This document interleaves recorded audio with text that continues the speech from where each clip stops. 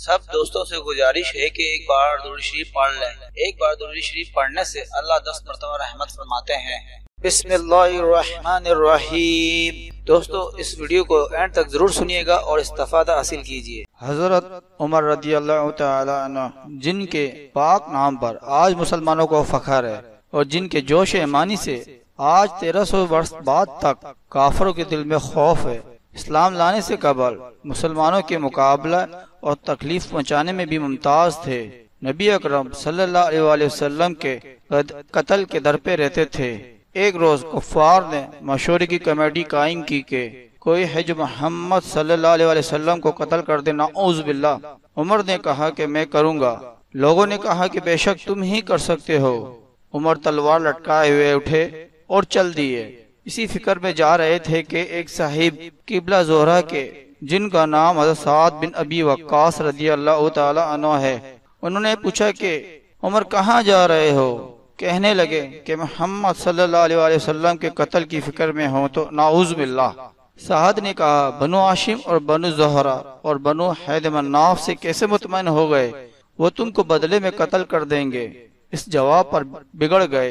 और कहने लगे कि, मालूम होता है, तू भी बेदीन, यानी मुसलमान हो गया। ला पहले तुझी को निपटा दूँ। ये कहकर तलवार सौत ली और हज़रत साद ने भी ये कहकर हाँ मैं मुसलमान हो गया हूँ। तलवार संभाली। दोनों तरफ़ से तलवार चलने को थी के हज़रत साद ने कहा कि, पहले अपने घर की तो खबर ले।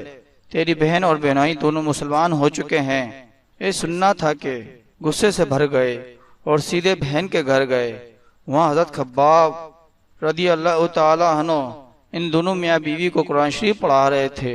हज़रत उमर ने दरवाज़ा खुलवाया और उनकी आवाज़ से हज़रत खब्बाब तो जल्दी से अंदर छुप गए और वो सईफा भी जल्दी में बाहर रह गया, जिस पर आयात पुरानी लिखी हुई थी। अमशीरा ने दरवाज़ा खोला, हज़रत उमर के हाथ में कोई चीज़ थी जिसको बहन के सर पर मारा, जिससे सर से खून बहने लगा। और कहा कि, अपनी जान की दुश्मन तू भी बददीन हो गई। इसके बाद घर में आए और पूछा कि क्या कर रहे थे? और ये आवाज़ किसकी थी? बहनोई ने कहा कि, बातचीत कर रहे थे। कहने लगे, क्या तुमने अपने दीन को छोड़कर दूसरा दिन अख्तियार कर लिया? बेनही ने कहा कि, अगर दूसरा दिन हक हो, तब ये सुनना था कि उनकी दाढ़ी पकड़कर खींची और बेताशा टूट पड़े और ज़मीन पर गिराकर खूब मारा। बहन ने छुड़ाने की कोशिश की तो उनके मुँह पर एक तमाचा इस ज़ोर से मारा कि खून निकल आया। वो भी आखिर उमर ही की बहन थी। कहने लगी कि हम, उमर हमको इस वजह से मारा जाता है कि हम मुसलमान हो गए। बेशक हम मुसलमान हो गए हैं। जो तुझसे हो सके तू कर ले। इसके बाद हज़रत उमर की निगाह इस साइफा पर पड़ी, जो जल्दी में बाहर रह गया था और गुस्से का जोश भी इस मारपीट से कम हो गया था और बहन के इस तरह खून में भर जाने से शर्म सी भी आ रही थी। कहने लगे कि अच्छा मुझे दिखलाओ, ये क्या है?